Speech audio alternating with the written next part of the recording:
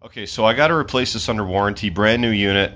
This controller went in for low ambient conditions. It's supposed to control the fan speed of the condenser fan and low ambient. It's supposed to lower the speed and the low ambient to keep head pressure up. Now, what was happening was the condenser fan was running full bore. It caused the unit to freeze up as the ambient temperature dropped. So we're going to change this and see if we can get this thing working properly. existing controller, the one that failed. I went through this. It's wired correctly. I even called tech support just to cover my basis and we even checked the thermistor to make sure it was reading correctly at the temperature it currently was the day um, I found the issue and the resistance of the thermistor was dead on for that temperature. So it seemed everything was good, wired right, the thermistor was good. So it seems like we might have a logic issue in this controller. So let's get it changed out and see what happens. Now for the probe, it says to place the probe on a U-bend or between the fins of the upper third part of the condenser. Now this is a microchannel coil, so it doesn't have a U-bend. So I'm going to try in the upper one third of the condenser to see if it works there.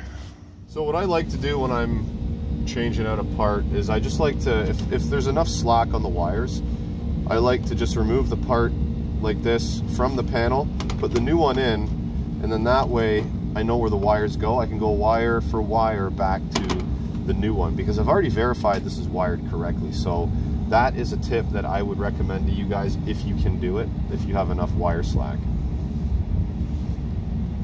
Okay, so here is where I'm going to try the probe out. This is the top one third of the coil and it's put through the fins as per the instructions because I don't have a bend to put it on because like I said this is a micro channel so let's try it there and see what happens. Okay, so it's installed and on a prelim check here it's running the fan's not going very fast it's actually going very slow and there's some heat rising out of the top of this thing that's sort of what we want to see but what I need to find out is if this fan motor here is sleeve bearing or ball bearing because it matters dependent on the settings in there. You can see that there's a ball bearing and a sleeve bearing setting. The other thing I want to do is I want to hook up my gauges to see what kind of pressures we're getting because if we don't check that and we are dropping below a certain pressure on the on the suction side, guess what? We can start freezing up like what originally happened to this unit. So these are the two things I still got to check. But right now, everything's looking like it's working okay, just from the outside looking in. All right, so looking at this motor here, it doesn't indicate whether it's a sleeve bearing or a ball bearing, but what I did was I called York Tech Support, and they dug through the info, and they let me know that it is actually a ball bearing style motor. So we are gonna set this up or probably just leave it in the position that it is because it's set for minimum position ball bearing. And now I'm going to stick my gauges on we're going to check the pressures to make sure that the pressures stay within line of what they should be without going down into sort of like freezing temps. We don't want to get really below maybe 35-ish degrees of saturation on the suction line. That's what really I'm going to be looking for here. All right, some results for you here. Now, the first go around with the sensor where it was, okay, we got down to 17 degrees saturation on the suction side. That's not good. That's gonna freeze up the coil. Now what I did was I took the sensor out and I moved it lower on the condenser and we are running with a little bit higher saturation temp on the suction side, but not much. This is way below freezing. We're gonna freeze that coil up the way things are right now. I'm gonna try one more thing and see what happens. Okay, so now what I've done, I've taken the sensor right off the coil and it's just dangling inside of the cabinet. It's just dangling down in there. So it's not actually touching the liquid line, it's not touching the condenser, nothing. And we have settled down and we're maintaining saturation temp of just above 25. Now, the next thing I'm gonna do is I'm gonna check my superheat and subcooling because there also could be a low charge thing going on here because when I feel this liquid line, the liquid line feels warmer than 62 degrees. That's just what my hand's telling me. So I don't know if we have any subcooling there. If we have no subcooling, then we could be undercharged. The sensor's still in the same position. All right, and running this thing for about 10 minutes now.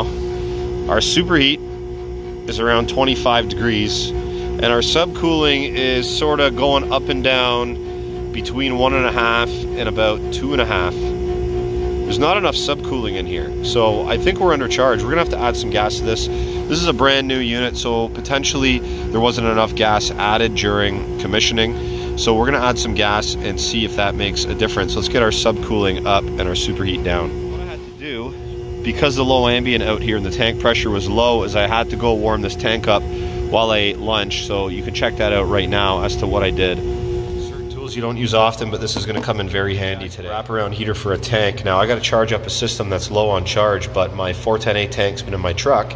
It's cold outside, the pressure's low. I don't have enough pressure to get in the system.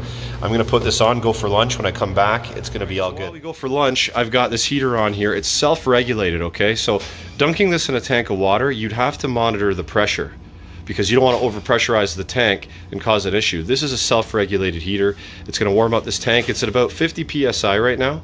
Um, so when we get back after lunch, we should have warmed this up to above the pressure of the system running currently, and we should be able to get gas out of this into the system. Warm here. Let's open up this valve and watch this pressure climb. See that there? I just opened it for a quick second, but that is the pressure we've now got this to. We went from about 50 psi to over 200 just by heating up the tank. Point, I've added, um, I would say, probably just under a pound of gas, and we've been moving around a little bit. We're getting up to about five degrees of subcooling. So because this is 410A and it's a 400 series refrigerant, I've been adding it as a liquid um, very, very slowly, but because I'm adding it as a liquid, look what happens to my superheat it drops right off, even if you add it in very short spurts.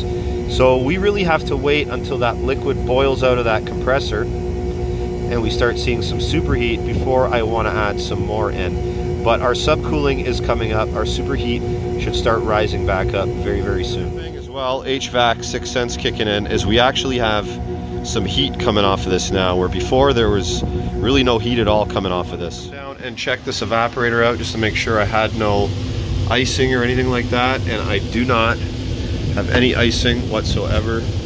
Look right down at the valve where the liquid line enters. We have no icing there at all, and we do have a nice sweat happening on the evap. Sorry guys, on the roof, cold outside, I was filming, my battery died, it just drained right out. But I'll tell you what happened. So I put a little bit of gas in that system, and after I did that, my, my subcooling went up, my superheat came down. Now, because it's a fan speed controller, the fan was speeding up and slowing down, speeding up and slowing down. And what I seen was this. So as the fan sped up, because eh, the air's cold moving across that condenser coil, my subcooling went up, my superheat went down. As the fan slowed down, my subcooling dropped, and my superheat went back up. And the pressures were also doing this. So what I had to do was sort of find um, a midpoint between the high and the low of the pressures, superheat and subcooling, and find where I was sort of comfortable. And if I looked at the high and the low, that midpoint was probably around six degrees of superheat and around 12 degrees of subcooling. Went down to the coil after about an hour and a half. There was no freezing going on, no nothing. It was actually had a nice sweat on the coil and it was bringing down the space temp and everything seemed to be fine. The amp draws were all good. So when you're setting something up like this in low ambient conditions, it's sometimes it's difficult and sometimes you really got to look at at these these levels, temperatures, pressures doing this and you got to really find that midpoint where you want it because it can it can trip people up seeing it almost drop to like no superheat or the subcooling going up to like 35 degrees because the air is so cold moving across that coil. But then that subcooling comes back down to like seven, okay? And then it does this. So you gotta really find a midpoint. Anyway, guys, thanks for watching the video. Subscribe if you enjoyed the content. I'm out. Happy HVACing.